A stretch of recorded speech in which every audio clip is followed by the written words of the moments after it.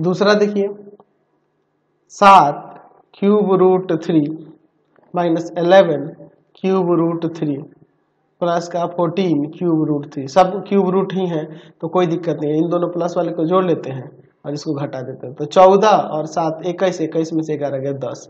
तो यहाँ आ जाएगा दस क्यूब रूट तीन। ये आपका आंसर हो जाएगा। कोई दिक्कत नहीं है। चलिए अब इसका